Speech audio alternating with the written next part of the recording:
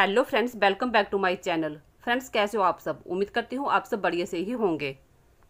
Friends आपके रोज़ के मुश्किल काम को आसान बनाने के लिए मैं आपके लिए कुछ टिप्स, ट्रिक और आइडिया लेके आई हूँ। उम्मीद करती हूँ आपको बहुत ही ज़्यादा पसंद आएँगे। तो चलिए फ्रेंड्स देर न लगाते हुए देख लेते हैं कि आज का पहला टिप क्या है। देखिए, मैंने यहाँ पे प्रेस ली हुई है। हम प्रेस को यूज़ करने के बाद इसको ऐसे ही कहीं भी रख देते हैं, जिससे क्या होता है कि इसके तार बहुत जल्दी ख़राब हो जाती है और फिर एकदम से गंदी भी हो जाती है। तो इसके लिए मैं बहुत ही बढ़िया टिप लेके आई हूँ। देखिए, सबसे पहले क्या करना है कि प्रेस की बायर को इस तरह से फोल्ड कर लेना है। अगर हमारी प्रेस की बायर ऐसे ही नीचे पड़ी रहती है तो वो एकदम से गंदी हो जाती है और फिर वो देखने में भी अच्छी नहीं लगती। तो हमेशा यूज़ करने के बाद अपने प्रेस की बायर को इस तरह से फोल्ड करके रखें। ये देखिए, मैंने एक रोल ले लिया है। ये टेप का रोल है। जब हमारी टेप खाली हो जाती है तो हम क्या करते हैं कि इस रोल को ऐसे ही फेंक देते हैं। लेकिन देखिए, हम बड़े अच्छे तरीके से इसमें प्रेस की वायर को इकट्ठा करके रख सकते हैं। अगर प्रेस की वायर यहाँ वहाँ पड़ी रहती है तो स्पेस भी ज़्यादा घेरती है, लेकिन इस तरीके से देखिए थोड़ी सी जगह में बड़े आसान तरीके से आ गई है। आप हमेशा जब भी अपनी प्रेस को यूज़ करें तो ठंडा होने के बाद क्या करें कि इस तरह से इसकी वायर को इकट्ठा करें और फिर एक रोल में डाल के रख लें। अगर टिप थोड़ी भी पसंद आई हो तो लाइक ज़रूर करें। चलिए देख लेते हैं कि अगला ट्रिक क्या है। देखिए, मैंने यहाँ पे नेल कटर लिया हुआ है।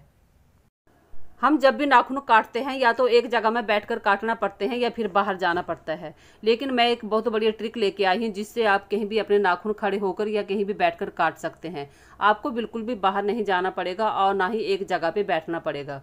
तो इसके लिए आपने क्या करना है कि इस तरह की एक टेप ले लेनी है। और देखिए, इस तरीके से बाहर वाली साइड में इस टेप को हमने लगा लेना है।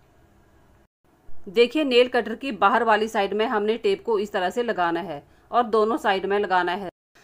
देखिए, एक साइड तो टेप लग चुकी है। अब क्या करना है कि दूसरी साइड भी इसी तरह से हमने टेप को लगा लेना है। कई बार बच्चे बिस्तर पर बैठकर या सोफा पर बैठकर या कहीं भी बैठकर नाखून काटने लग जाते हैं और क्या होता है कि नाखून नीचे गिर जाते हैं। लेकिन इस तरीके से बच्चे कहीं भी बैठकर नाखून काटें, बिल्कुल भी नीचे नहीं गिरेंगे।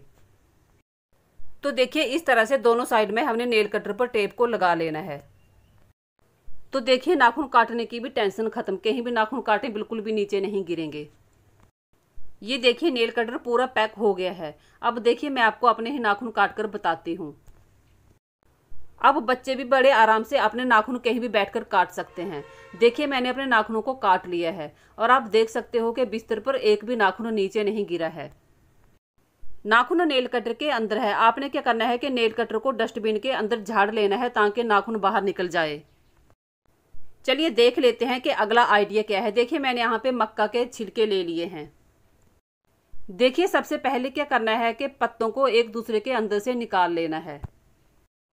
बड़ी ही आसानी से निकल जाएँगे। और फिर देखिए, हमने क्या करना है कि एक पत्ते के हमने दो या तीन पीस कर लेने हैं। देखिए इस तरीके से। अगर पत्ता बड़ा है तो आपने तीन पीस कर लेने हैं। अगर छोटा है तो दो ही पीस रखने हैं। और जो बेकार पत्ते हैं, उन्हें निकाल कर बाहर कर देना है। फिर इसके बाद क्या करना है कि तीन पत्ते एक साथ पकड़ने हैं। देखिए इस तरीके से। और फिर एक क्लॉथ क्लिप ले लेना है और इन तीनों पत्तों को क्लॉथ क्लिप के अंदर इस तरीके से डाल देना है और फिर चोटी बनाना शुरू करना है। यानी कि हमने इन पत्तों को चोटी की तरह गूंथ लेना है। तो देखिए, मैं इनको जिस तरीके से गूंथ रही हूँ, आपने भी उसी तरीके से इनको गूंथ लेना है और एक लंबी सी चोटी बनाकर तैयार कर लेनी है। देखिए, गूंथने के बाद जहाँ पे कम पड़ जाए, आपने क्या करना है कि तीन पत्ते लेने हैं और फिर इसी तरीके से इनको जोड़ लेना है। पत्ते को थोड़ा बाहर निकाल के जोड़ना है ताकि ये अच्छे से जुड़ पाए। जोड़ने के बाद ये जो पत्ते बाहर निकल जाएँगे, आपको टेंशन लेने की कोई बात नहीं है। इनको कैसे ठीक करना है, मैं आपको बताऊँगी। तो इसी तरीके से आपने लंबी चोटी बना लेनी है। जहाँ पर आपको लगे कि पत्ते ज्वाइंट करने हैं, आपने पत्तों को ज्वाइंट करते जाना है और फिर चोटी को बना के तैयार कर लेना है। तो देखिए, मैंने इस तरीके से चोटी को बनाकर तैयार कर लिया है। तो देखिए, ज्वाइंट करने के बाद जो हिस्से बाहर निकले हैं, उनको हमने ठीक कैसे करना है, मैं आपको बताती हूँ। आपने एक पत्ता ले लेना है और देखिए, इसको थोड़ा सा काट लेना है। तो देखिए, इसी पत्ते से हमने इसको अच्छे से लपेट लेना है। बिल्कुल भी पता नहीं लगेगा कि ये बाहर निकला था। अच्छे से इसको एडजस्ट करके लपेट लेना है और फिर एक टाइट गांठ लगा लेनी है। इसी तरीके से आपने जितने भी हिस्से बाहर निकले हैं, सबको ठीक कर लेना है। तो देखिए, जितने भी पत्ते बाहर निकले हैं, आपने पहले थोड़ा सा काटना है और फिर एक पत्ते की सहायता से इनको अच्छे से जोड़ लेना है। तो देखिए, मैंने सभी को तैयार कर लिया है। एक नीचे रखा है ताकि आपको बता सकूँ कि आप यहाँ पे धागे का इस्तेमाल भी कर सकते हो। आप चाहें तो पत्ते की जगह पे धागा भी लगा सकते हो। तो देखिए, इस तरीके से आपने एक लंबी चोटी बनाकर तैयार कर लेनी है। आपके पास जितने पत्ते हैं, आपने सबकी इस तरह से चोटी बना लेनी है। मेरे पास थोड़े ही पत्ते थे तो चोटी बहुत छोटी बनी है। लेकिन इसका जो बनकर तैयार होगा ना, आपको बहुत ही ज़्यादा पसंद आएगा। तो देखिए, सबसे पहले हमने क्लॉथ क्लिप को निकाल लेना है और फिर इस तरीके से हमने यहाँ से इसको अच्छे से टाइट कर लेना है। देखिए, इस तरीके से और फिर अंदर की तरफ़ इसको मोड़ लेना है।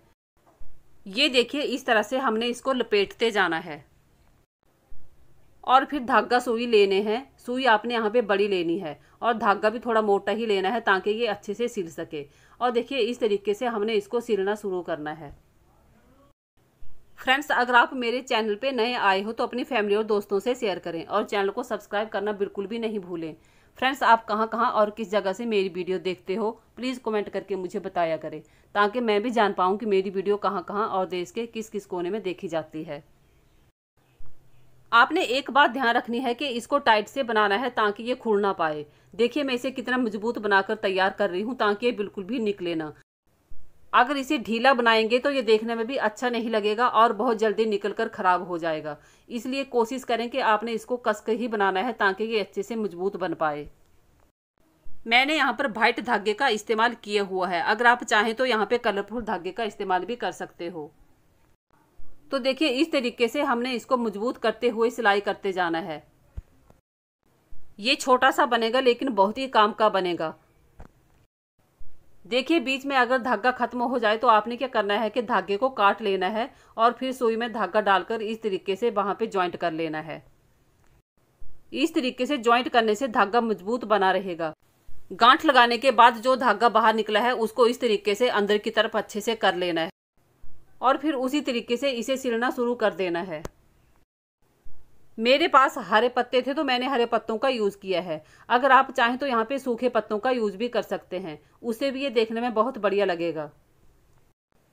तो देखिए, मेरे पास थोड़े ही पत्ते थे और चोटी भी छोटी बनी थी तो मेरा बनकर तैयार है। अब क्या करना है कि देखिए लास्ट में इसको अच्छे से गांठ लगा लेनी है ताकि ये निकले ना। अगर आपके पास ज़्यादा पत्ते हैं तो आपने क्या करना है कि चोटी को बड़ा बना लेना है। तो आप इस तरीके से इसका डोर मैट भी बनाकर तैयार कर सकते हो। तो देखिए, मैंने इसे बनाकर तैयार कर लिया है। ये बिल्कुल छोटा सा बना है। चलिए, बताती हूँ कि इसका यूज़ हमने कैसे और कहाँ करना है। ये देखिए, ये छोटा सा ही बना है, लेकिन देखने में कितना अच्छा लग रहा है। चलिए, देख लेते हैं इसके यूज़। देखिए, जब हम अपने घर में चाय बनाते हैं तो चाय की प्याली को इस पर इस तरीके से रख सकते हैं। देखिए, देखने में भी कितनी अच्छी लग रही है। इस तरीके से पानी का गिलास भी रख सकते हैं। अगर आपको वीडियो थोड़ी भी पसंद आई हो तो चैनल को सब्सक्राइब ज़रूर करें।